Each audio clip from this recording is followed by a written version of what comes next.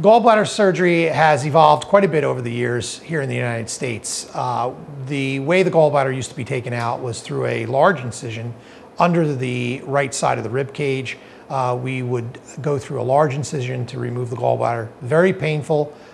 Uh, length of stay in terms of hospital stay was anywhere from four to five days.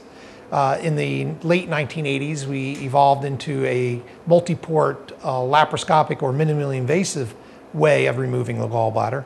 Now we have evolved into a single incision uh, through the umbilicus to remove the gallbladder that several weeks after the surgery, one can't tell whether the operation was uh, performed or not. The complication rate of this operation will go close to zero or as close to zero as anyone can get because of the visualization of uh, one doing this operation uh, in terms of the 3D configuration.